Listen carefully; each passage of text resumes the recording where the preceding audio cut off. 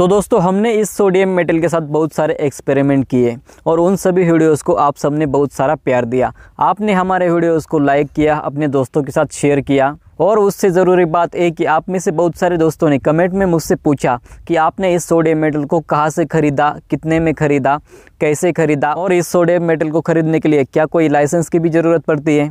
तो इस वीडियो को पूरा देखिए और इस वीडियो को अभी से लाइक कीजिए, क्योंकि मैं आप सबके लिए इतना सब कुछ करता रहता हूँ। तो चलिए बिना कोई देरी के वीडियो को शुरू करते हैं।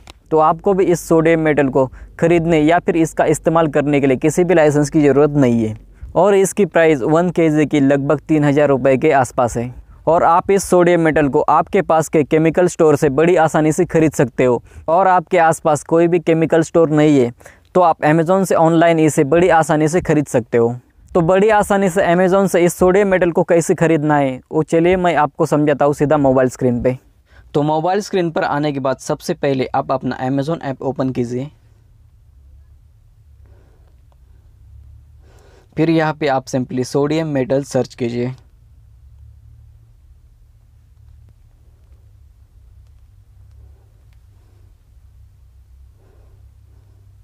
और फिर आपको स्क्रॉल डाउन करना है।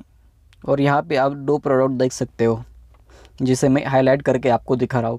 इन्हें को आप ऑर्डर कर सकते हो। 25 ग्राम सोडियम का डब्बा आपको एक सौ निन्यानवे रुपये में और 100 ग्राम सोडियम का डब्बा आपको तीन सौ सत्तर रुपये में मिलेगा।